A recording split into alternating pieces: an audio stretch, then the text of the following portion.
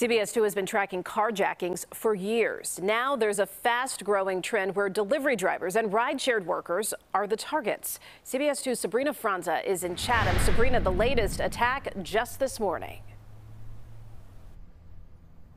And that happened just steps away from where we're standing now. Right here behind me, this is 86th and South Cottage Grove, where that Amazon delivery worker fled to safety, shot twice. First responders picked him up in this parking lot after police say three people tried and failed to take his car. Now, he's not the first delivery worker to become a victim by a long shot.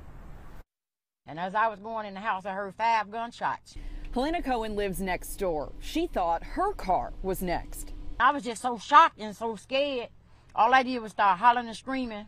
Instead, a 32 year old Amazon delivery worker became the latest target in a growing trend. Delivery workers attacked. It's beyond crisis level. Lenny Sanchez works for the Independent Drivers Guild. He says this is he a paper delivery guy? Happens at least once a day, every day in the Chicago area.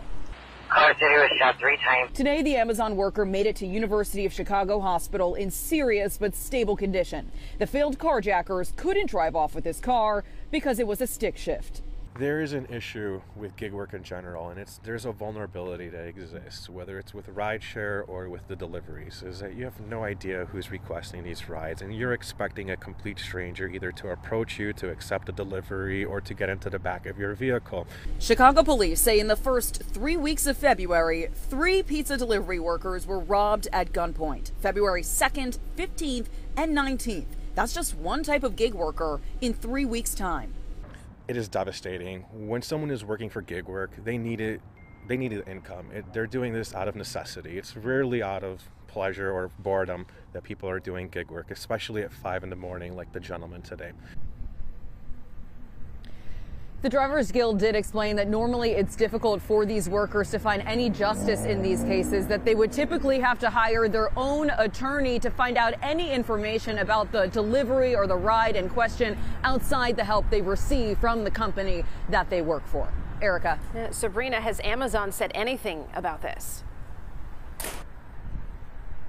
They have actually responded to us saying that they are working with law enforcement and they said that they are also helping the worker in question, but they would not tell us exactly what kind of work they were giving them. Erica. Sabrina, thank you.